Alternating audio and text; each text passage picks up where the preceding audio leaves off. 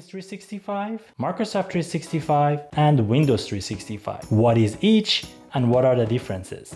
We all might have used Office products a long time ago. We remember the days that we had to purchase the Microsoft Office CD or download them after purchasing the license and install the applications separately on our computers. If you had several users in your organizations, each user had to purchase a separate license, install the application separately, and use it locally on his or her own computer. There were no central location for managing all the Office products. Around 10 years ago, Microsoft introduced Office 365. Office as a software as a service solution, a service that was updated over the internet with a pay as you go subscription. With Office 365, we did not have to purchase the product upfront. There were no upfront costs. You would just pay as you go, monthly basis subscription based and you could cancel at any time. With a software as a service solution, you will always get the latest features and updates on the fly. You don't need to pay for upgrade. You're always using the latest features with the most and recent security updates. Microsoft designed Office 365 to bring its existing online tools together and keep them up to date for all the users to provide a central look and feel and a shared experience among all users. One of the big challenges that all the users and specifically organizations had with the local Office installation was the disjointed applications. If a user had a file saved locally on their computers, it was a challenge to share it oh with God. other users or collaborate on the same file. They had to use email or other solutions to exchange files, and keeping track of the version was a nightmare. With Office 365, Microsoft resolved that issue. With Office 365, Microsoft combined the core productivity applications such as Word, Excel, OneNote, Outlook, and many more with collaboration tools such as Exchange, SharePoint, and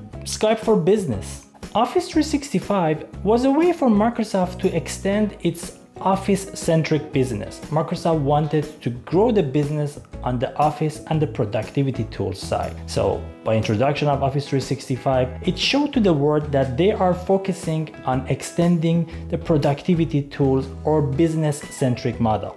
Office 365 was initially aimed for large corporations. It was designed for enterprise and it was priced for enterprise organizations. But as the time went by, they introduced pricing plans that could suit any size organization, consumers, or even students. And then, a few years ago, Microsoft renamed it to Microsoft 365. Renaming Office 365 to Microsoft 365 reflected that Microsoft is planning to extend the features, functionality, and applications of Office 365 beyond only Office products. It wanted to include applications like Windows, compliance and security, and many more. Microsoft 365 is a superset or a super successor to Office 365. It includes everything you know about Office 365 and many more, such as Windows 365, Teams, and many more. It also includes compliance and security, central device management products and services, and many more. Similar to Office 365, Microsoft 365 is a subscription as well. There are no upfront costs. It's a pay-as-you-go subscription. With a software as a service subscription, you always have the latest and most up-to-date services and applications. In summary, Microsoft 365 is similar to Office 365, but it includes a lot more features and functionalities, functionalities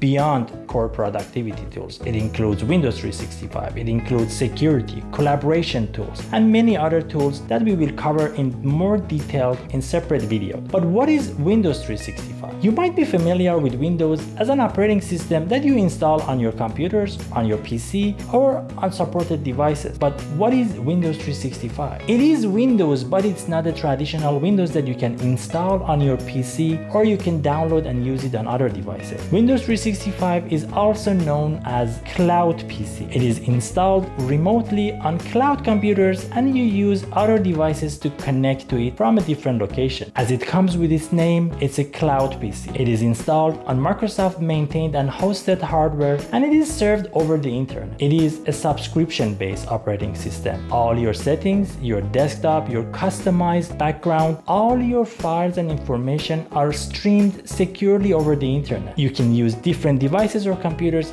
to connect to your cloud PC from any location. It is maintained by Microsoft and you pay a subscription for it. You don't need to download or install it on your PC as you would traditionally install operating systems on your client. Setting up and using a Windows 365 is easy, fast and secure. You don't need to purchase a hardware, you don't need to purchase the license and no more setup is involved. You only need to assign a license to the user who is going to use Windows 365. Once you assign the license, Microsoft will create the Windows 365 and you'll be able to connect your Windows 365 PC remotely over a secure connection. In this short video, we just covered the high level and basics of what these three names mean. Join me on the future videos to learn about the details of each one of these subjects. We will have a series of videos covering Microsoft 365 and a series of videos about Windows 365. Make sure to subscribe and hit the bell icon to be notified when the videos are released. See you on the next video.